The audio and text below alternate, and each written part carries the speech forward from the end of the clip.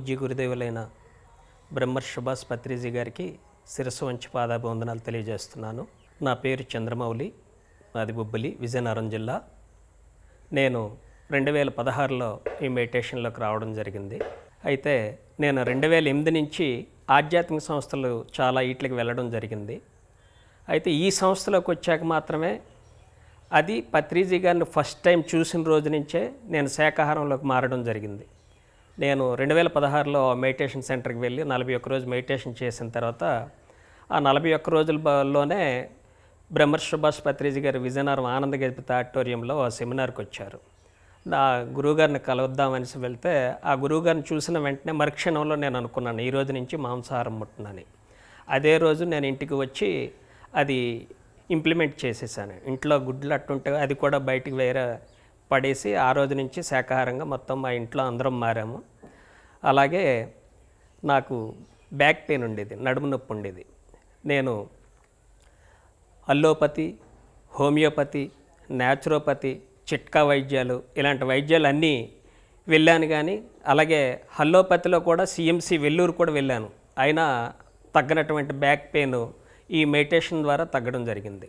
అలాగే తర్వాత గురువుగారు సెమినార్ బొబ్బిల్లో ఏర్పాటు చేయడం అలాగే మానవ సేవ మాధవ సేవ ఇలాంటివి తెలుసుకోవడం అలాగే సజ్జన సాంగత్యాలు జరగడం అలాగే ఎలక్షన్ క్యాన్వెసింగ్ కూడా పత్రిజీ గారు రావడం అలాగే మా ఇంటి మీద మేము పిరమిడ్ ఏర్పాటు చేయడం. ఆ పిరమిడ్ ఏర్పాటుకు కూడా ఎక్కడ లేని నూతన ఉత్సాహంతో సార్ వచ్చారు. ఇక్కడ నందా సార్ మాకు ముందే చెప్పారు సార్ మీదకి రారు మెట్లు ఎక్కరు అంటే సార్ ఇక్కడికి వచ్చే మెట్లెక్క చాలా యాక్టివ్గా పదమ్మ మీదకి అన్నారు అలాగే ఆ కార్యక్రమం పిరమిడ్ చాలా చక్కగా జరిగింది. ఆ రోజు చాలా ఎక్కువ ఒత్తిడి ఎక్కువ పనులు ఉన్నాయి కానీ పత్రిజీ గారి దగ్గర కూర్చోబెట్టి మెడిటేషన్ చేయించారు. మెడిటేషన్ చాలా అద్భుతంగా కుదిరింది ఆ రోజు. అలాగే నేనే కాకుండా మా భార్య ఈ మెడిటేషన్లోకి రావడం పిల్లలు రావడం మా కుటుంబం అంతా శాకాహారంలోకి మారడం చాలా ఆనందాన్ని ఇచ్చింది. అలాగే సార్ సెమినార్లకి నేను బెంగళూరు వ్యాలీ అలాగే ప్రకృతి వ్యాలీ అలాగే కత్తాలు వెళ్ళి ఎక్కడ లేని అనుభూతిని ఆనందాన్ని అయితే చాలా చక్కగా పొందాం.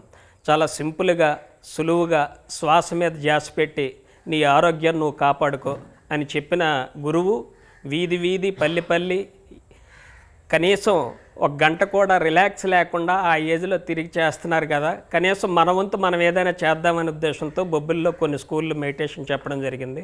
అలాగే కొన్ని సెమినార్లు కూడా పెట్టడం జరిగింది. అలాగే గురూజీ సెమినార్లు కూడా ఒక రెండు పెట్టాం. అలాగే మిగిలిన సెమినార్లు కూడా మరికొన్ని పెట్టి అలాగే కొన్ని పిరమిడ్లు కూడా చేసి అలాగే కొంతమందిని శాకాహారం వైపు చెప్పడం కోసం అలాగే మెడిటేషన్ వైపు చెప్పడం కోసం మా వంతు మేము కృషి చేస్తామని తెలియపరుస్తూ ఈ అవకాశం ఇచ్చిన పిఎంసీ వాళ్ళకి ప్రత్యేక ధన్యవాదాలు తెలియజేసుకుంటున్నాను.